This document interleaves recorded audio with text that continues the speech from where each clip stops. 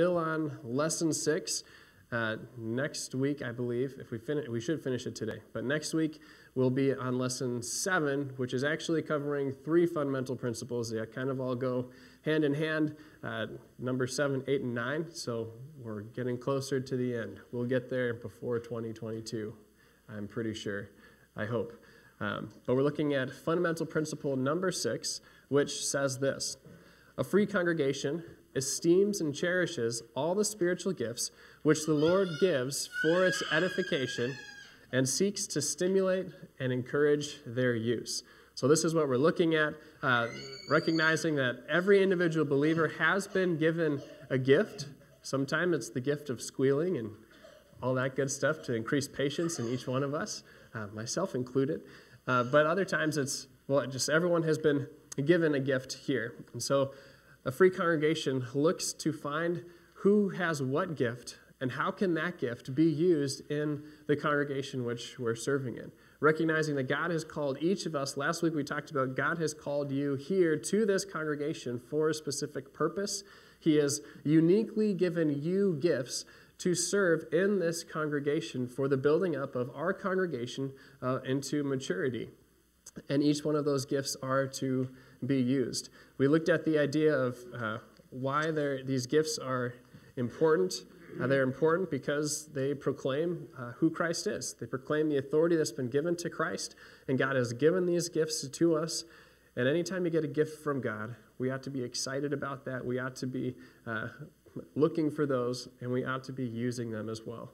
Not just storing them on a shelf in mint condition to resell some other time. That it's not how those gifts work. You can't do that. It's meaningless. But God has given to each individual believer gifts to be used in our congregations. So we're on page five, and we're looking at question number eight. Uh, question number eight says this How does the Bible answer believers who think that their spiritual gift is insignificant and unnecessary? How does the Bible answer believers who think that their spiritual gift is more important than the gift of another? Maybe I'll ask this question, and maybe I'll even ask for showing hands. I don't know. Who here thinks of themselves as an, mm-hmm, a necessary part of this congregation? The congregation suffers if you're not here. Okay, we got a couple of bold people. Okay, yeah, everyone should be should feel that.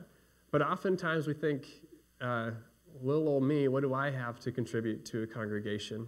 I don't, no one's going to miss it if I'm there or if I'm not there. Or I don't have an important role to play. I don't have anything to give the congregation. I don't have uh, the gift of teaching or the gift of whatever, some kind of fancy gift that we get in front of everyone and everyone gets to notice it.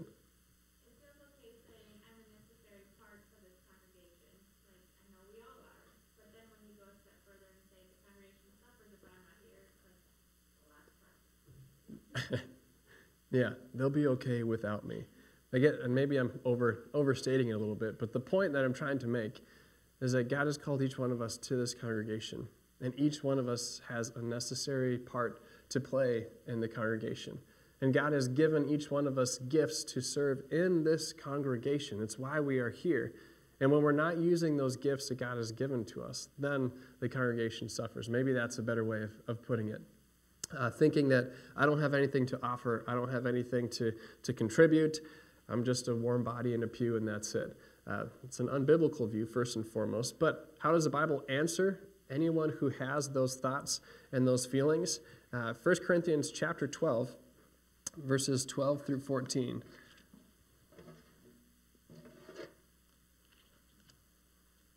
I can find it here. 1 Corinthians chapter 12, verses 12 through 14 says this For even as the body is one, and yet has many members, and all the members of the body, though they are many, are one body, so also is Christ. For by one Spirit we were all baptized into one body, whether Jews or Greeks, whether slaves or free, and we were all made to drink of one Spirit. For the body is not one member, but many. How would this passage help those of us who think that our spiritual gift is insignificant and unnecessary? How does this speak value to every believer?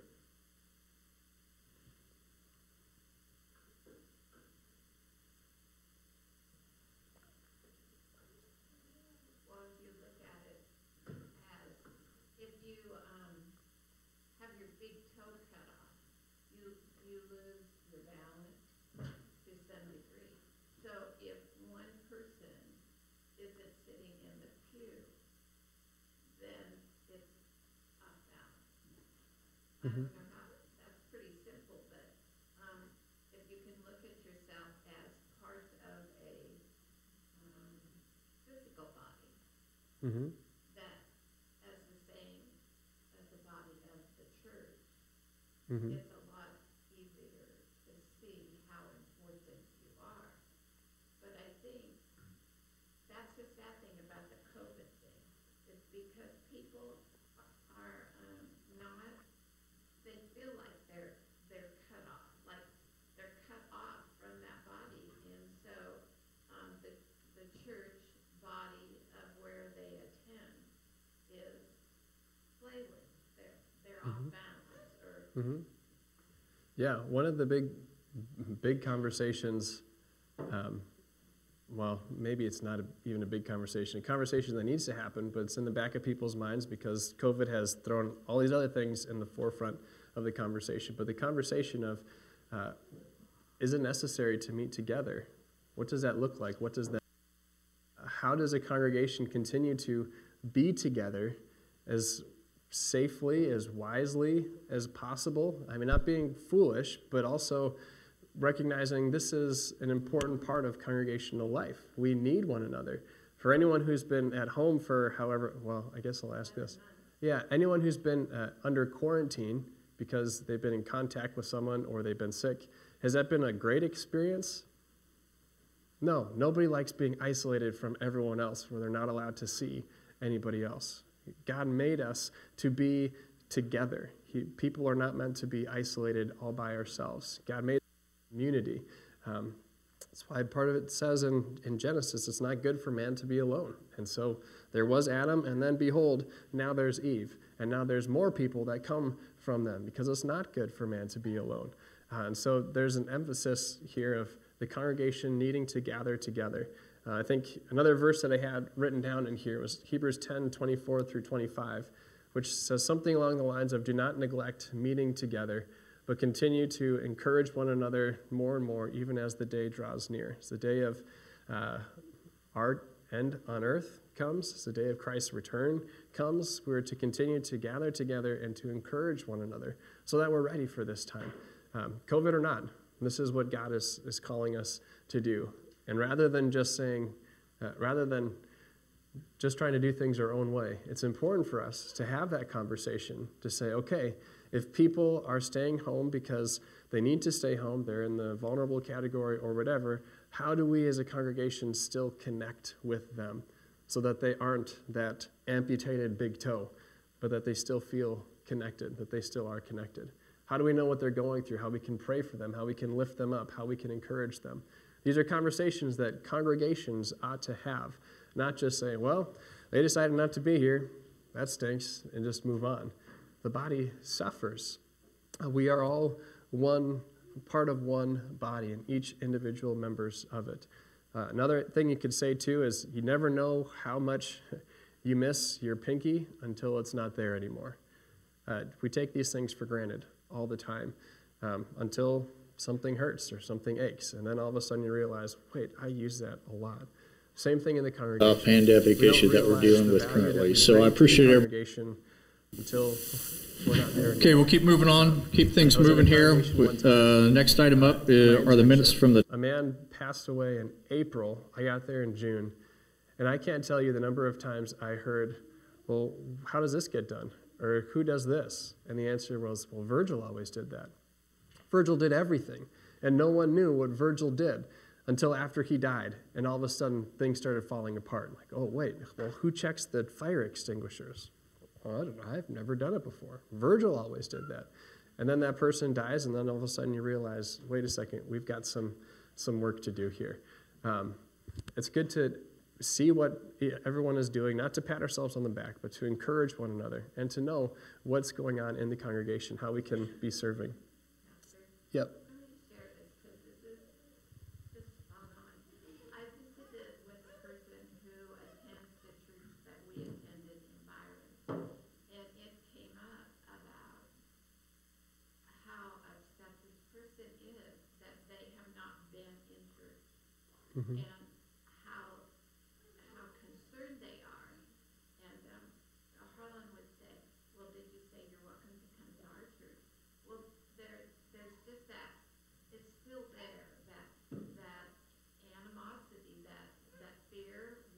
Mhm. And all I can say is, my heart goes out to you because I can't imagine what it is like to not be able to go and sit in our church. That Mhm. It's important. It's- Mhm. It's important to me and I know it's important to others. And when you're told that that isn't going to happen, where do you turn? I mean, seriously, where do you Mhm. turn? And for this person to speak to me about this, they're, I, I just couldn't believe that they could say it because after thirty years, I mean, thirty years ago, it was just like somebody cut, Mhm. cut our arms off because we just didn't, I mean, we just Mhm. didn't approach each other. Yeah, and I think you're going to find that more and more. The longer these restrictions continue, the longer that we uh, aren't allowed or permitted to meet together, some congregations aren't, the more and more people are beginning to recognize this is necessary. The six weeks that we shut down back in whenever it was, April, March, April, and May, it was good for us to up to get everything up to speed and figure all that stuff out. But as a congregation, something was missing. It's not the same worshiping in your basement and the couch. And it's great I could be with family and all that good stuff, but it's different. We need to gather together. That's a part of what being a congregation is. That's what God calls us to. We are a body, and everyone, individual uh, members of that body, we need one another.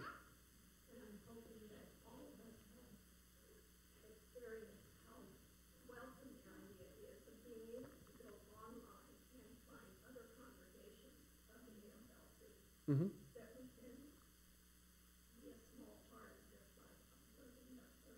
Mm-hmm. Yeah. Yeah, and there was one one pastor that I, uh, Matt Ballman in Texas. He's doing the church plant in San Antonio, and one of his messages he said, "If you've watched this message, call this number, send me a text, let us know that we're doing that." So that he's finding out people are hearing his messages from wherever. So I sent him a text, and we had a conversation for a little while, and that was an encouraging thing for him uh, to know that someone else cares, someone else is listening. Um, that's something that we can do. A real simple way to encourage one another with that. But that's a good point.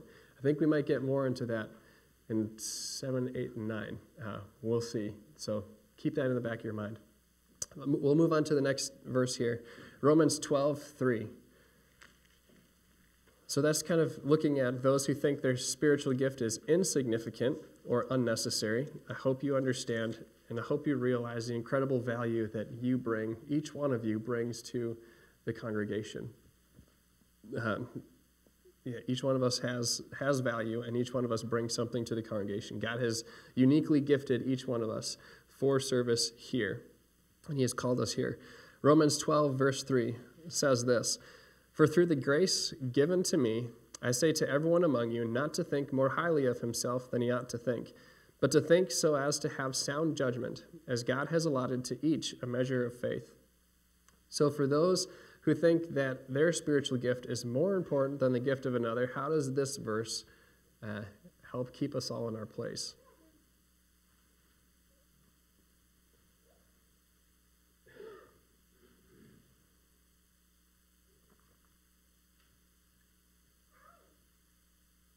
What kind of instructions are there for us in verse 3?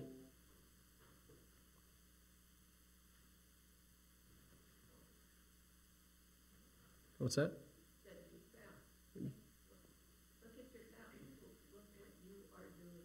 And judge yourself in what way? Or how do we judge ourselves? Well, it says with so, sober judgment, with, I think,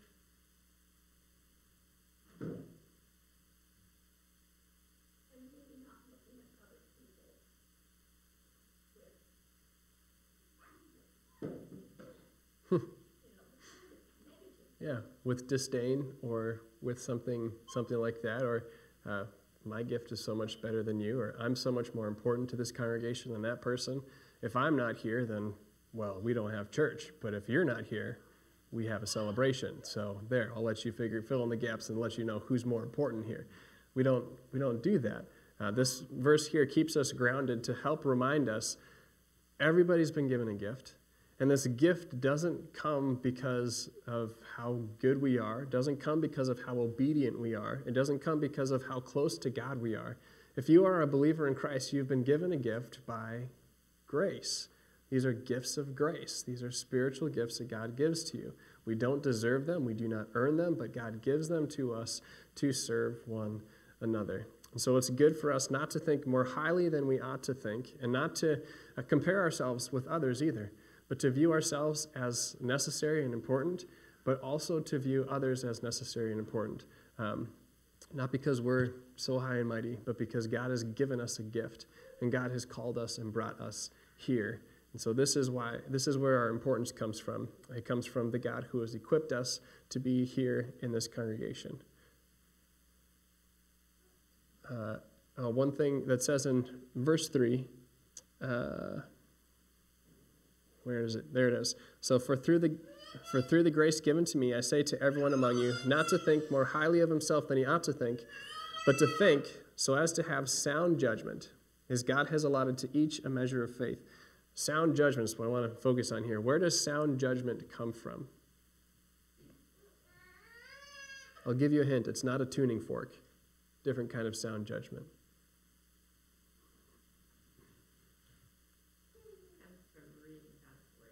Comes from God's Word.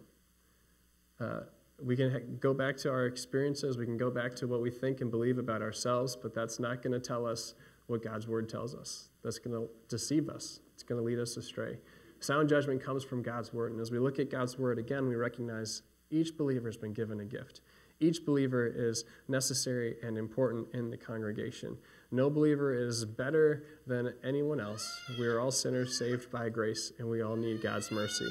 Uh, so, hopefully, that sound judgment is an aspect that we can ask ourselves honestly and study God's word to recognize, again, uh, how, we, how we ought to think about each other and how we ought to think about ourselves. All right, we'll go back to question number nine now. According to Ephesians 4, and we'll start at verse 11 through 16, how is a perfecting of the saints, the work of ministry, and edifying the body described and accomplished? We read these verses again last week, but we'll read them again this week. Ephesians 4, verses 11 through 16. How is the perfecting of the saints, the work of ministry, and edifying of the body described and accomplished? It says this, beginning at verse 11. And he gave some as apostles, and some as prophets, and some as evangelists, and some as pastors and teachers, for the equipping of the saints, for the work of service, to the building up of the body of Christ, until we all attain to the unity of the faith and of the knowledge of the Son of God, to a mature man, to the measure of the stature which belongs to the fullness of Christ. As a result, we are no longer to be children, tossed here and there by waves and carried about by every wind of doctrine, by the trickery of men, by craftiness and deceitful scheming but speaking the truth in love, we are to grow up in all aspects into Him who is the head, even Christ, from whom the whole body, being fitted and held together by what every joint supplies, according to the proper working of each individual part, causes the growth of the body for the building up of itself in love. So we'll look at this first question here. How is the perfecting of the saints uh, and the work of ministry and edifying of the body described and accomplished? First of all, how is it described here?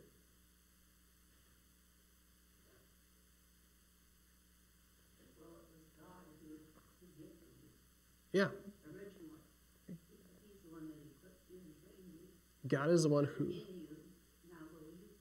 Yeah, God is the one who has given these people to you for your equipping, for your uh, growing up, for your maturity. Uh, even though you don't want to get spurred in the side every once in a while, this is a gift that God has given to you to spur you on in the side, to get us into God's word and see what is God calling me to do. Yeah. Yeah. We've, yeah, we've also, each one of us has been given a gift by God, and we don't necessarily know what that is. Uh, talked with Kevin, I think, I don't remember when it was, but he handed out the spiritual gift inventories in all the mailboxes. So you all should have that. If you haven't filled that out, I encourage you to turn it back in. But one of the benefits of doing that is it opens up your mind to see how different acts of service or different areas could be considered spiritual gifts. So it's not just a teaching thing. There's more spiritual gifts than just teaching. There's more, spirit, more to spiritual gifts than just hospitality. These are definitely included, but it goes further. And as you ask, answer these different questions, it gets you thinking about how has God uniquely gifted me and equipped me to serve in these different ways. And that's one of the benefits of that. So, shameless plug for that. Um, but yes, God has gifted each one of us. Pastor, I think something that would help people is, I don't think, or we didn't understand that when you start reading those questions and you're, you're trying to figure out, am I, I can't even remember the number, do I do it all the time, part of the time, whatever. But when you do the final one, where you add everything up, then it's really eye-opening hmm as to what, what your spiritual gifts are, you know, um, and where uh, the areas that you want to step back from, because that's not your strength, that's not where you can help. hmm And, um, yeah, when we did it, I remember Harlan, he was just going, oh man, this is a lot of paperwork, and, but it's really good for, if you just take maybe a half an hour, that's about all it takes, and Mhm. adding up the scores, I, I think maybe it would be helpful for people if you just kind of told them that, because we don't have everybody here. Yeah. It's real easy, I think, to just put it aside and say, I don't know what I'm, hmm how's this gonna tell me where my gift is? It's very helpful. hmm Yeah. It is. It's- Yeah. Because we both got rather, another piece of paper to do, you know. And it's more than one piece of paper, too, right? What? Was it more than one piece of paper? Yeah, it is, Yeah. but not as many as you thought. Get some weightlifting in there. Yeah. Anyway, that's, I'm just saying that it's really, it does have a benefit. hmm Yeah. And it's good for us to do that. You don't have to do it on that paper, do that. I didn't, I did it separately so that it was, nobody would see my score. You Mhm. know, I just did it separately. Yeah. And that's and that's fine. But uh, like you said, For my own information, Well, they don't where even are know who- weaknesses, where are Mhm. my strengths? I'll just see how has God gifted me in these areas. And going back to the passage here in um, verse 16, from whom the whole body being fit and held together by what every joint supplies, according to the proper working of each individual part, causes the growth of the body for the building up of itself in love. And this is why God has given each of us spiritual gifts, so that we can be growing up each other in love, speaking truth in love to one another, uh, so that we are not being tossed here and there by every wind of doctrine or by every crazy Christian fad that comes through and say, oh, now we all got to do this or jump on this bandwagon. We stick to God's word and we grow up into maturity, and we can be discerning with those things. That happens by each of us using our gifts and serving one another, building each other up.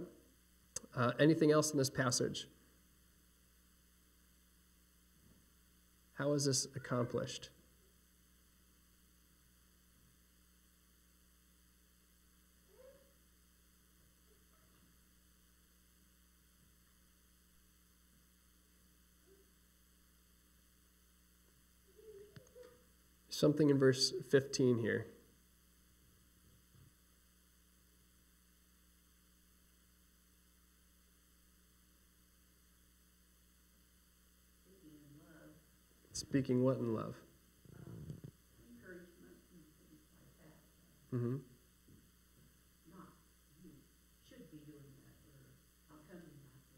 You, you coach it differently. So, what about this? I'm speaking to you, Dolores, in love. I just love when you play the piano. You're a great, fantastic piano player, and you're great at the organ and all that stuff too. And, and I'd love to see you use those gifts here in this congregation. I know nothing about your piano ability or organ ability. I don't, maybe you played it or not, but is that might make you feel good. But is it based in reality? Is it based on truth? It's not. And we could have Dolores come to church someday and say, All right, guys, Pastor wants me to play piano today, so listen up. Uh, it, it could be interesting, to say the least, making a joyful noise. Um, but it's important to speak the truth and to speak the truth in love. And sometimes that requires us to say things that we really don't want to say. It requires us to hear things that we really don't care to hear.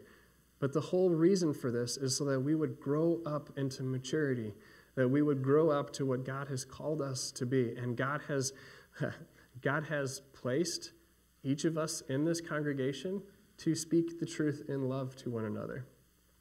I'm going to go out on a limb here and say we don't all get along all the time here in this congregation. I think that's a fair statement. It's, it's fair for me um, to say that. So, what do we do with that? We speak the truth in love. We hear each other out. We recognize this might be a personality conflict. Let's get to the bottom of this and recognize this is who you are as a person. This is who God has gifted you to be. You have a, an important role here in this congregation. This is how God has gifted me, and I also have an important role in this congregation. We're like oil and water, we don't mix, and yet God has brought us together into this congregation to speak the truth in love to one another. It's hard, sometimes it's ugly, but a little bit of grace goes a long way. Uh, and it brings us all closer towards maturity, and that's the goal. The goal isn't uh, to win arguments and win fights, the goal is maturity in Christ. And going back to verse 15, says, Speaking the truth in love, we are to grow up into all aspects into Him who is the head, even Christ. Recognizing that this is directed by Christ. Christ is the head. This is who we are growing up into as we have these hard conversations, these unpleasant conversations.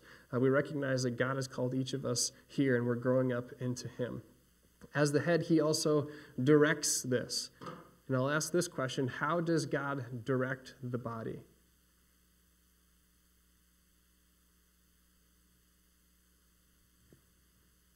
By what means is He used to that.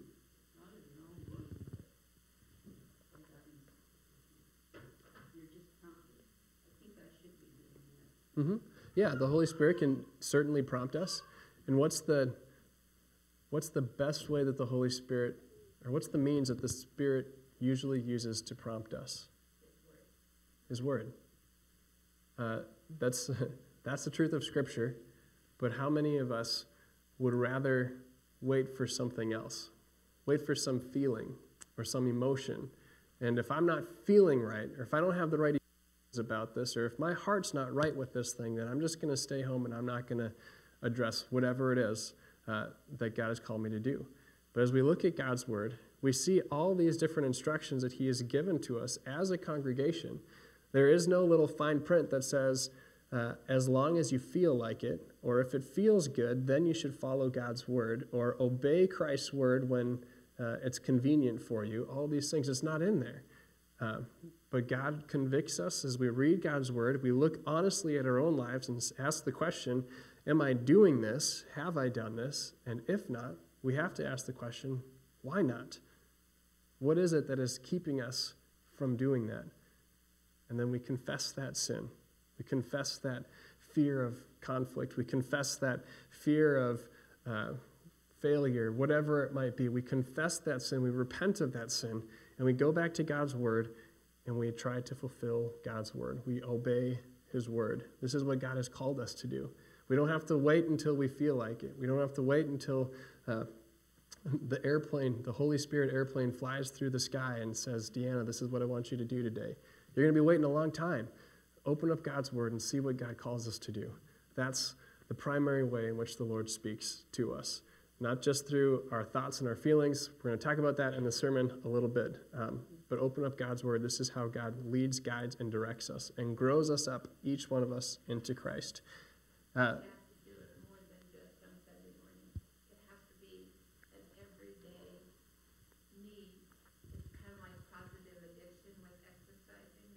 You mhm, So the more that you establish a routine that you do it, mhm. Yeah, ru- routines certainly help doing that. If you have a scheduled time where you're going to do that, that definitely helps you doing that. And why do we need to keep reading it? Why can't we just say, I read the Bible once, cover to cover? I, the more you do it, the more you want to do it. What if you don't want to do it? Because this is reality. Uh, pretty soon, we're going to be getting into a section in Exodus, I think this coming week, maybe this week or next week, where we're going to be hearing about all the different articles being built and crafted and described and defined for the tabernacle. You're going to open up your Bible as you're following along with us, and you're going to open it and think, what in the world do I have to read this for? I don't care about the pomegranates that are hanging from the ceiling. I don't care about the dyed goat hair for the curtains and all these different things. What do I care about the golden rings and the poles and all this other stuff? What does this have to do with my life? That's, that's human nature. That, those are my thoughts. And there are times when I get to those passages where I think, I just would rather be doing a bunch of other things right now. So when you don't feel like it, why do we keep reading it?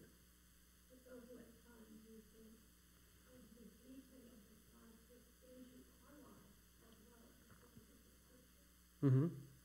Yeah. You can look back and say, look at the tremendous detail that God goes to so that he could dwell among his people. Well, the other thing is, God was testing them to obey. I mean, it's Mhm. going to be this way and this way, and I want you to do it this way, and all throughout the Old Testament.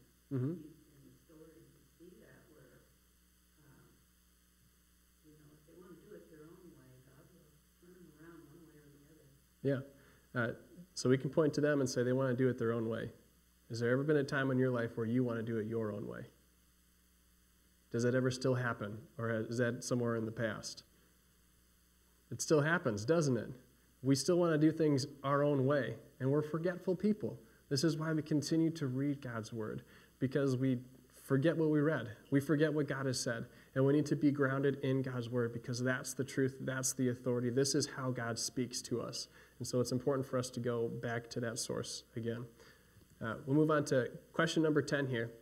Note what Sverdrup says the idea that all the gifts of grace are gathered together in the person of the pastor, be he believing or unbelieving, dead or alive, is utterly foreign to and unknown in the whole of Scripture. With that quote, that idea being out there, is it possible for congregational members to fulfill their gifts of grace if the pastor is in control of all aspects of congregational life? Why or why not?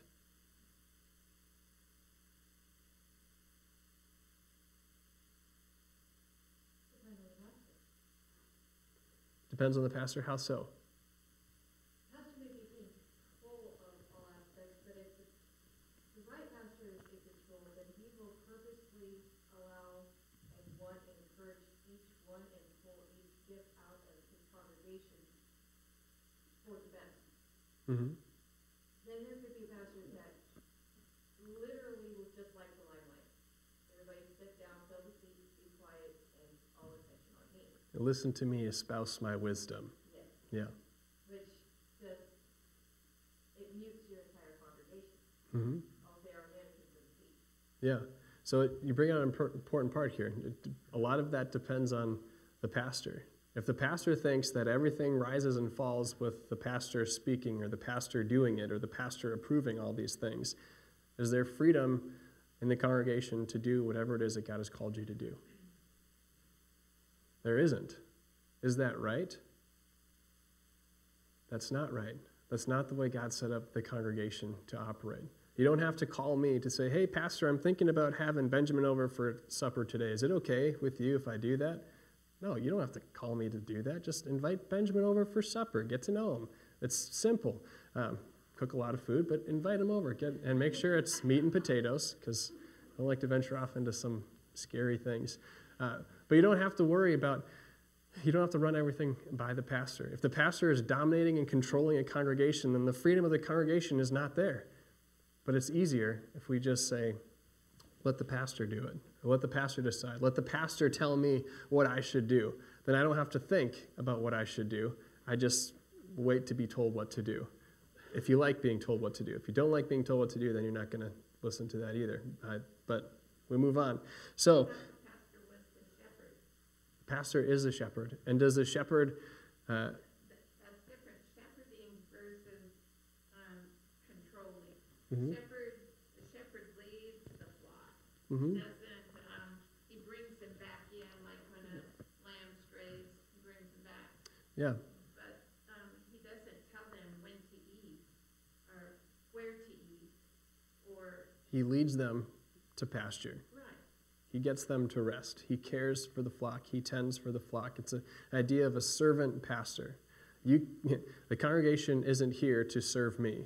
The pastor is here to serve the congregation. That's a biblical picture of that. And so that's what uh, that's what Sverdrup is trying to get back to here, saying, and this is the idea that they had back in the day, um, state churches, or maybe even in other denominations as well. You've got the pastor; he is the most important person in the congregation. Everything's got to run through him before the pastor becomes a CEO of the organization, which is not the case. It shouldn't be the case. We'll take it another step to further, I guess. Ask the question Is it possible for congregation members to fulfill their gifts of grace if the council is in control of all aspects of congregational life?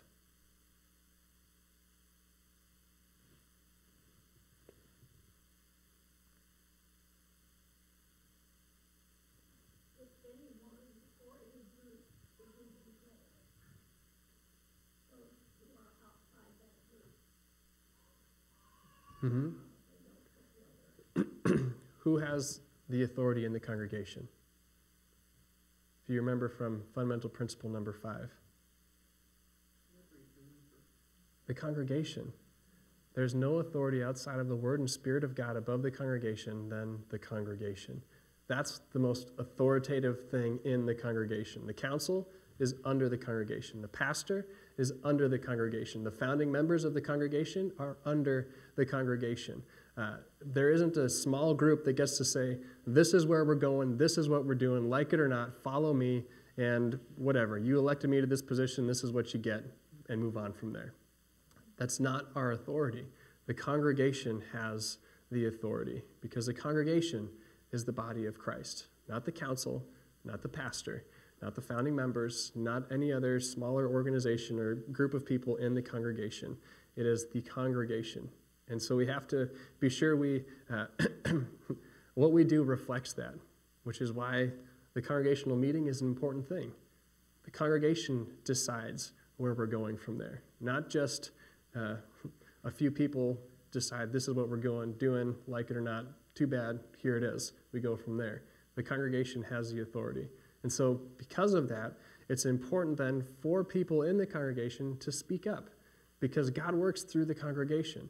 Not to hold your tongue because, oh boy, this is going to open up a whole bag of worms here. No, talk about it and let the congregation decide. Let the body of Christ function as the body of Christ. It takes work to prevent this from happening, work from each person, because it's easier and it's more efficient if the control of the congregation is centralized. It's a whole lot, takes a whole lot less time if we just let the council deal with it. They'll deal with it and it's done, rather than hearing from each individual person your own ideas in this different instance, whatever it is.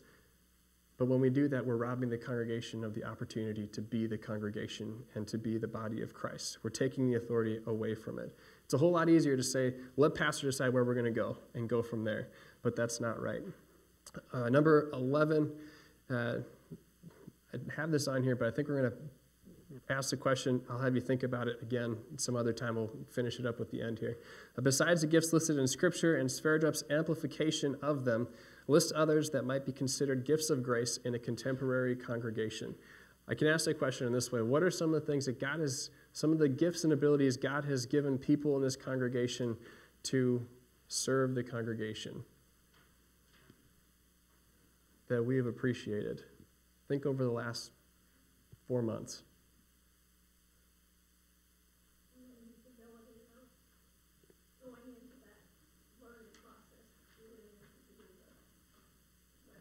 Yeah, uh, computers weren't around when God's word was written. So they're not going to say here, uh, learning how to operate a Mac and a calendar is a spiritual gift.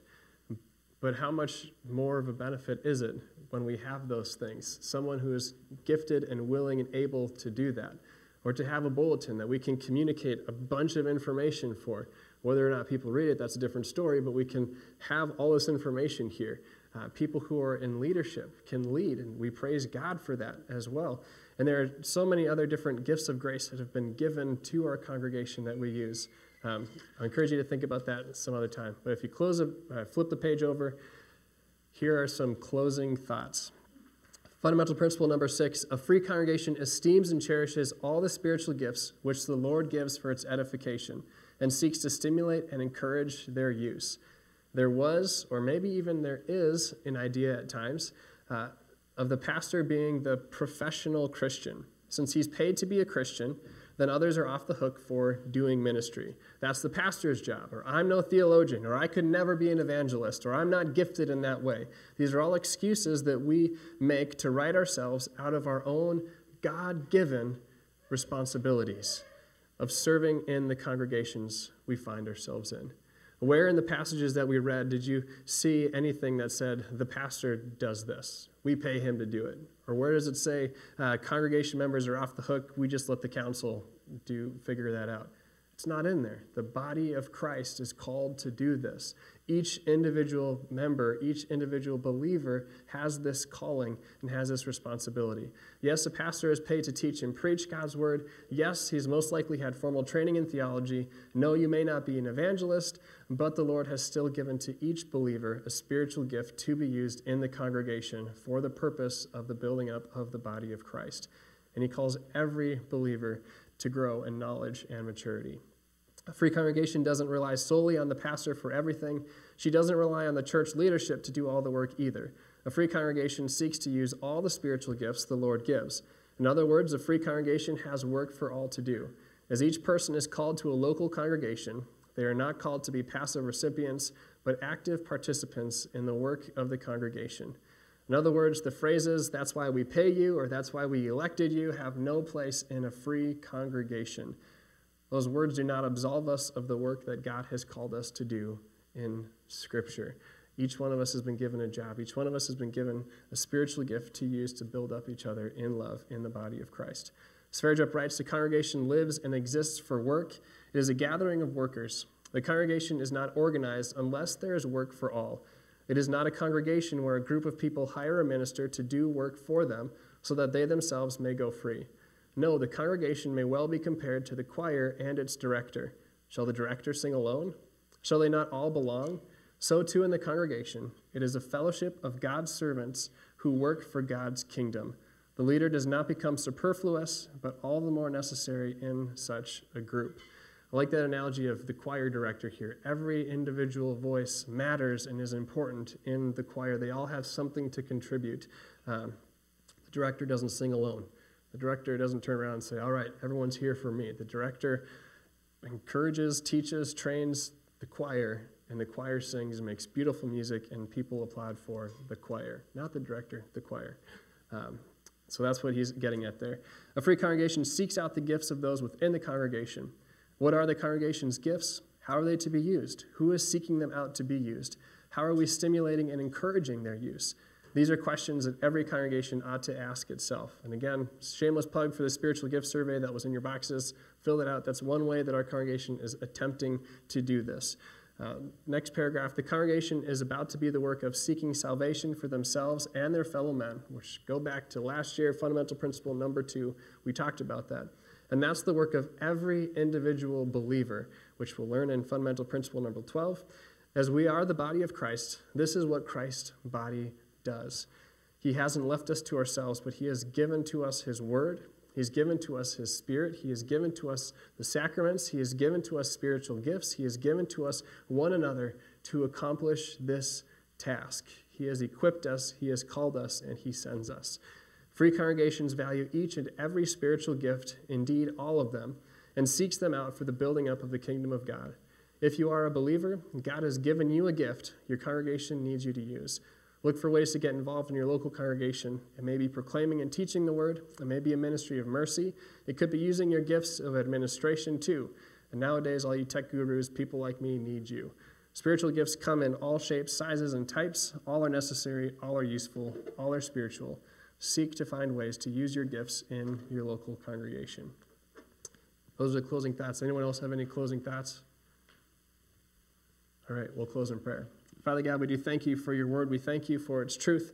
We thank you, God, that you have given to each one of us spiritual gifts. We thank you, Lord, for bringing each member here as well, for gifting uh, us with each one of us here in this congregation. Father, we pray that you would help us to be faithful to the work that you have called us to do.